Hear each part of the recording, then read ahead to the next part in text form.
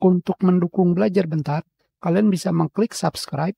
Halo, selamat datang di Belajar Bentar. Sekarang kita akan belajar apakah yang harus kalian lakukan ketika kalian baru membeli flash disk atau flash drive.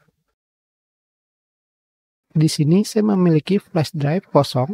Sekarang, jika saya melakukan copy paste, tentu saja bisa, tetapi jika saya melakukan copy paste aplikasi ataupun program yang lebih dari 4 GB seperti ini misalkan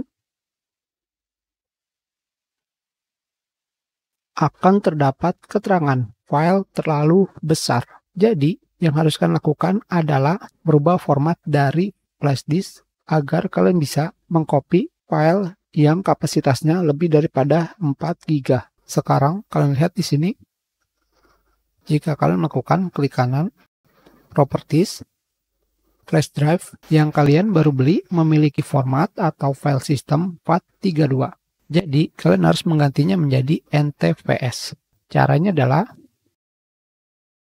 klik kanan, format, dan rubah pada bagian file system menjadi NTFS. Start, Tentu saja kalian pilih quick format atau jika kalian ingin mengganti nama labelnya. Sekarang flash drive kalian datanya akan dihilangkan semuanya. Jadi jika data kalian masih sedikit lebih baik kalian lakukan sekarang.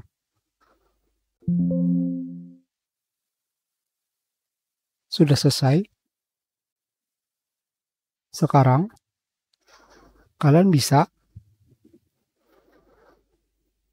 melakukan copy paste sebesar apa pun di flash drive yang kalian miliki.